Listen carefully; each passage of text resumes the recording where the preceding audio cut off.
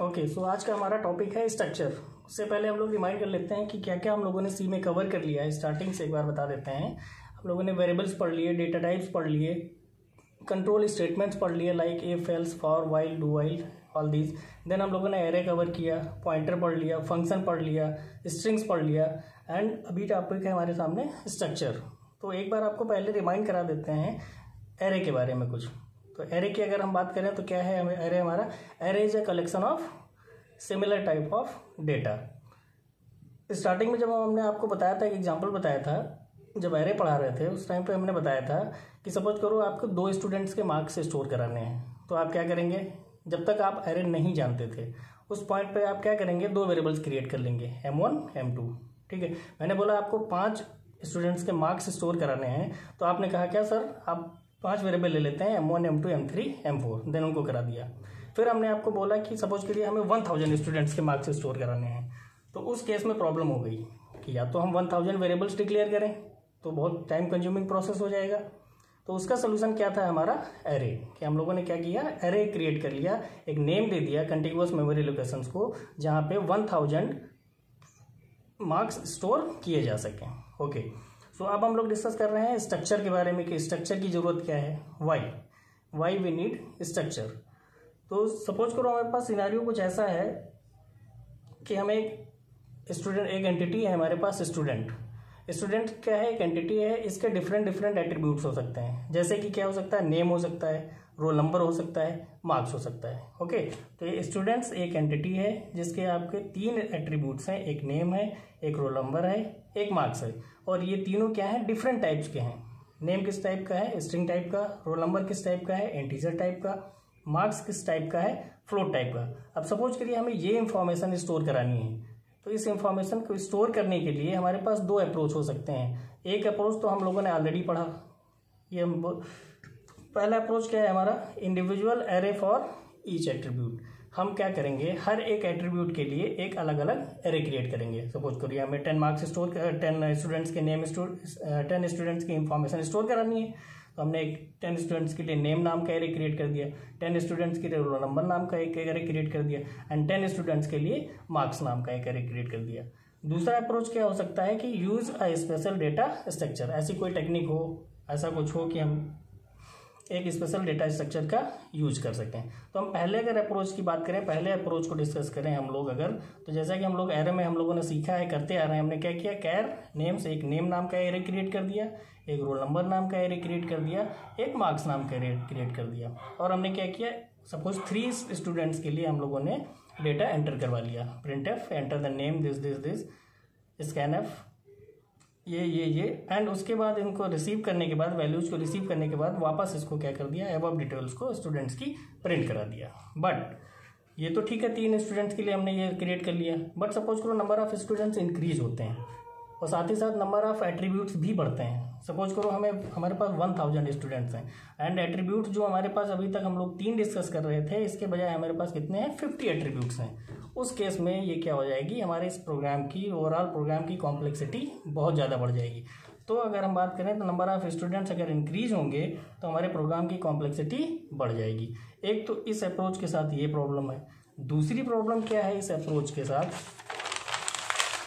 दूसरी प्रॉब्लम इस अप्रोच के साथ ये है कि हम लोग ऑल द एरे में not be located continuously in the memory क्या होता है कि एरे के एलिमेंट्स जो हम लोगों ने पहले से पढ़ रखा है कि एरे एलिमेंट्स जब हम कोई कोई एरे क्रिएट करते हैं एरे को डिक्लेयर करते हैं तो जो एरे के एलिमेंट्स होते हैं, वो तो कंटिन्यूस मेमोरी लोकेशंस पे होते हैं। बट अलग अलग एरे अगर हमने तीन एरे क्रिएट किए हुए हैं तो ज़रूरी नहीं है कि मेमोरी में वो कंटिन्यूस हों।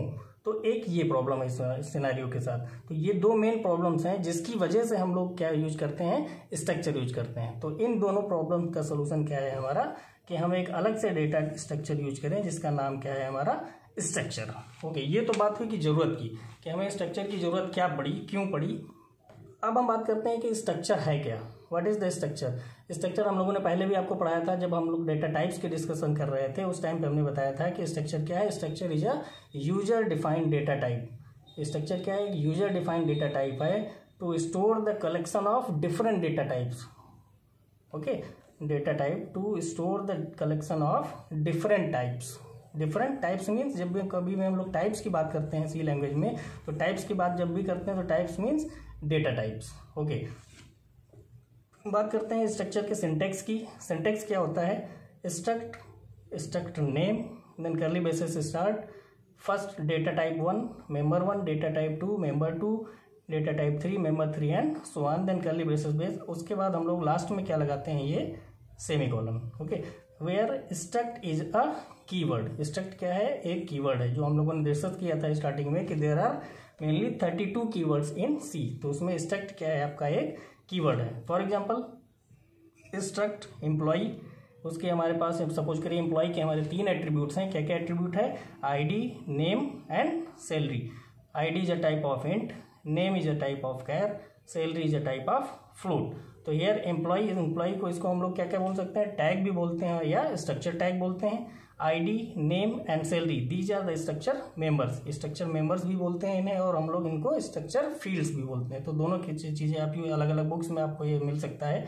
कहीं मेंबर्स मिल सकता है, कहीं आपको फील्ड्स मिल सकता है। तो इस तरीके से हम लोग किसको डिक्लेयर करते हैं स्ट्रक्चर को डिक्लेयर करते हैं। ओके अगर हम मेमोरी रिप्रेजेंटेशन देखें, इस स्ट्रक्चर का जो हम लोगों ने एम्प्लॉय स्ट्रक्चर डिफाइन किया हुआ है डिक्लेयर किया हुआ है यहाँ पे, इसका अगर मेमोरी रिप्रेजेंटेशन आप देखेंगे तो देखिए फ़र्स्ट जो आपकी फोर बाइट्स होंगी सपोज़ करो ये हम लोग मान लेते हैं कि इंटीजर के डेटा टाइप को स्टोर करने के लिए हमारे कितने बाइट्स की ज़रूरत हो रही है? फोर बाइट्स की। तो पहली जो फोर बाइट्स होंगी मेमोरी के अंदर, वो क्या होंगी? आईडी के लिए एलोकेट की जाएँगी। नेक्स्ट जो आपकी, चूँकि नेम नेम के कितना साइज़ था आपका? ट्वेंटी सॉरी इसको टेन कर देते हैं हम। टेन। तो ये टेन जो आपके नेक्स्ट बाइट्स होंगी, वो किसके लिए स्टोर हो जाएँगी? आपकी नेम नाम के मेंबर के लिए। नेक्स्ट आपकी जो है क्या? सैलरी सैलरी के कितनी बाइट्स आपकी स्टोर हो जाएँगी? One two three four four bytes store हो जाएँगी। तो टोटल अगर हम लोग इसके साइज़ की बात करेंगे स्ट्रक्चर के साइज़ की बात करेंगे तो जो इनके इंडिविजुअल मेंबर्स का जो डेटा टाइप होता है, उसके जो स्टोरेज कैपेसिटी होती है, उन सब का सम होता है। तो four bytes for i ten bytes for name and four bytes for salary तो टोटल अगर आप एम्प्लॉय स्ट्रक्चर की बात करेंगे तो उसकी साइज़ कितनी होगी? 18 बाइट्स होगी। और मेमोरी में इसका एलोकेशन किस टाइप से होगा? ये कंटिन्यूस मेमोरी एलोकेशन होगा, जो कि हम लोग लैक कर रहे थे किस केस में? एरे के केस में। एरे के केस में हम लोग क्या कर रहे थे कि जो भी आप बना रहे थे अलग अलग तीन डिफरेंट एरे बना रहे थे, जो फ़र्स्ट अप्रोच हम लोगों ने यहाँ पे फॉलो किया था, उसमें प्रॉब्लम यही थी कि वो जो एरे होंगे, वो कंटिन्यूस मेमोरी लोकेशंस पे हों, ऐसा ज़रूरी नहीं है। बट स्ट्रक्चर के केस में क्या होगा, जितने भी इसके फ़ील्ड होंगे या जितने भी मेंबर्स होंगे, वो कंटिन्यूस मेमोरी लोकेशन पे होंगे। ओके